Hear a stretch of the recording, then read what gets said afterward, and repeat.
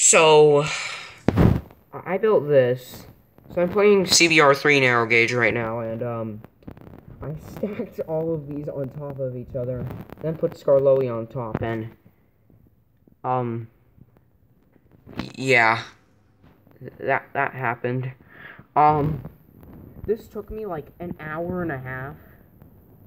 This took a while, like, the, the, the things kept on derailing when trying to get them up. They'd be uneven, but finally, finally I did it. I wanted at least five rows, and that's what I did. I might go higher. Yeah, th this was not fun to make, actually.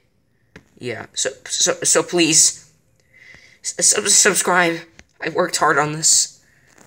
But yeah, let's, since we're already at the top, um, yeah, we can send an engine down.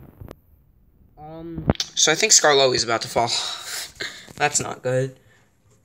Uh, oh.